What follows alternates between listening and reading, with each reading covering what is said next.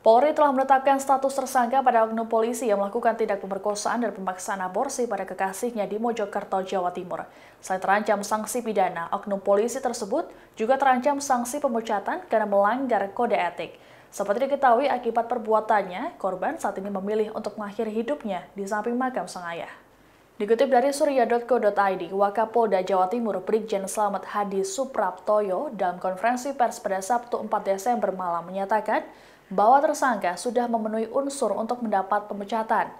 Tersangka berinisial RB itu telah melanggar ketentuan yang diatur dalam Perkap nomor 14 tahun 2011 tentang kode etik pasal 7 dan 11. Terkait dengan hukum pidana, polisi menjerat tersangka dengan pasal 348 KUHP Jungto 55 tentang perbuatan sengaja menggugurkan kandungan atau mematikan janin dengan ancaman hukuman 5 tahun penjara. Selamat menegaskan pihaknya tak akan pandang bulu terhadap anggota kepolisian yang melakukan pelanggaran. RB diketahui merupakan polisi aktif yang bertugas di Polres Pasuruan. Saat ini tersangka sudah ditahan oleh Propam Polda Jawa Timur. Penyidik masih melakukan pendalaman terkait dengan kasus ini. Sejumlah barang bukti juga sudah diamankan, di antaranya yakni potasium yang digunakan korban untuk mengakhiri hidup dan juga obat penggugur kandungan. Dari hasil pemeriksaan, diketahui korban sempat hamil sebanyak dua kali pada Maret 2020 dan Agustus 2021. Kandungan pertama digugurkan saat janin berusia hitungan minggu, sedangkan kandungan kedua digugurkan saat berusia 4 bulan. Disinggung terkait dugaan kekerasan terhadap korban yang dilakukan oleh tersangka, selamat menampiknya. Berdasarkan pengakuan tersangka, selama berpacaran dengan korban tak pernah ada kekerasan fisik. Diberitakan sebelumnya, kasus ini menjadi sorotan tajam dari warganet di media sosial.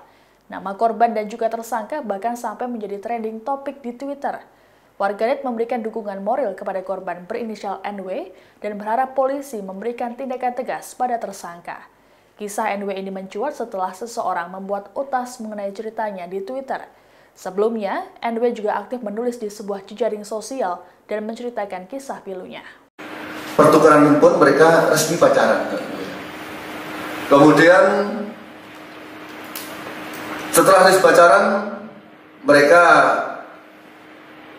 melakukan satu perbuatan seperti kayak suami istri.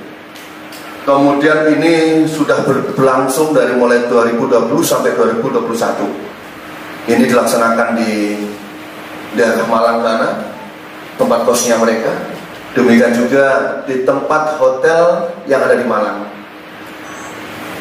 Kemudian kita dapatkan juga adanya satu bukti bahwa korban selama pacaran sampai kemarin yaitu terhitung dari mulai Oktober 2019 sampai dengan uh, bulan kemarin aja bulan Desember ya, 2021 uh, sudah melakukan uh, tindakan aborsi bersama.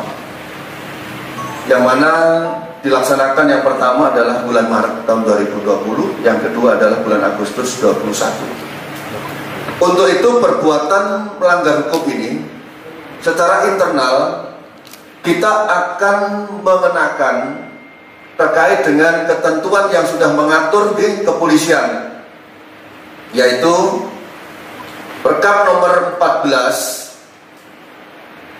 tahun 2021, 2011 yaitu tentang kode etik. Yaitu kita jerat dengan pasal 7 dan pasal 11 itu secara internal. Secara pidana umum kita juga akan menerapkan atau menjerat pasal 348 junto 55 ini adalah langkah-langkah yang kita lakukan terkait dengan kasus yang menimpa anggota kita. Demikian informasi kali ini, nanti terus informasi terbaru lainnya hanya di kanal YouTube Tribunnews. Terima kasih sudah nonton. Jangan lupa like, subscribe, dan share ya.